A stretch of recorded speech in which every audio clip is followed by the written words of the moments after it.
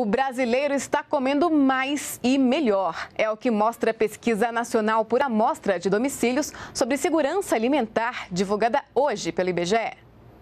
No Brasil, o percentual de residências que tem algum grau de insegurança alimentar, leve, moderado ou grave, caiu de 30,2% em 2009 para 22,6% em 2013. Isso significa que mais brasileiros têm acesso a alimentos em quantidade e qualidade adequadas. No caso da insegurança alimentar grave, o número de residências que sofrem com o problema caiu pela metade, principalmente na área urbana. Restaurantes comunitários como esse são uma das políticas públicas adotadas para garantir o acesso à alimentação em cidades com mais de 100 mil habitantes. É bom demais, é, é porque nem tem, nem tem dinheiro para comprar.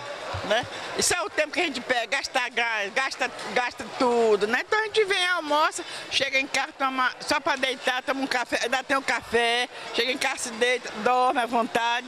E um real, hoje você não compra nem pão. A minha opinião é mais pelo preço, né? De um real que as pessoas vêm e é boa a comida. A pesquisa do IBGE também revela que de 2004 a 2009 aumentou o número de domicílios em segurança alimentar em todas as regiões do país. O maior avanço foi no Nordeste. E quanto maior o nível de escolaridade, melhor a qualidade da alimentação. Segundo a pesquisa, em 2013, 13,7% dos moradores com 1 a 3 anos de estudo não se alimentavam de forma adequada.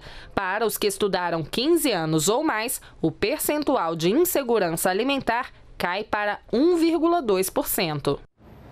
A pesquisa do IBGE revela também que a insegurança alimentar é maior em domicílios chefiados por mulheres, pretos ou pardos e que a maioria das residências nesta situação tem rendimento per capita de até um salário mínimo. Os dados completos do estudo podem ser acessados no site do IBGE.